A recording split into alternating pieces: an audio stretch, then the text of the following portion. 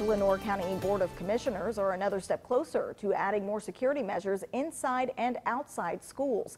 The decision comes after the board approved a capital request of $570,000. Now on your sides, Dominique Moody joins us now from the newsroom. Dominique, you attended the meeting and you had a chance to speak with some of the parents. What were some of the concerns you were hearing from parents and those county leaders? Shayla, a few members of the board weren't so quick to vote yes for the funds, while other board members were adamant to improving the funding. And parents tell me that the safety of students should be a top priority.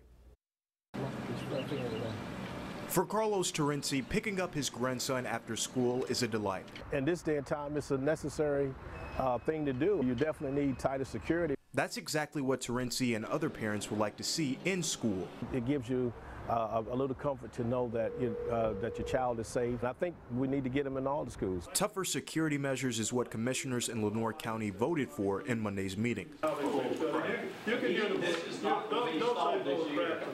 But it wasn't an easy decision to make. Nobody's opposed to making the schools safer for children, but what I am opposed to is when we get a one-page document that requests $570,000 and there's no backup to it. In Monday's vote, Eric Rouse wanted clarification on the decision. Rouse says a breakdown of the allocation for the funds for cameras, locks on doors, and key fobs is what the board needed. I think it's irresponsible to just vote on something based on one sheet of paper that has no backup with it. Where it was going to go and how it was going to benefit the children. Yet not every board member felt that way. It was just time to bite the bullet and to let's start because if you don't make a move, you never will. Current Vice Chair for the Board of Commissioners, Linda Spellman Rouse, explained the next phase that the Board of Education has to make. They have to do bids and they have to order stuff, and then the maintenance crew will have to schedule in the time to do all that. Parents like Terenzi are eager to have safety tools to help protect students, including his grandson. It's a shame that this keeps happening,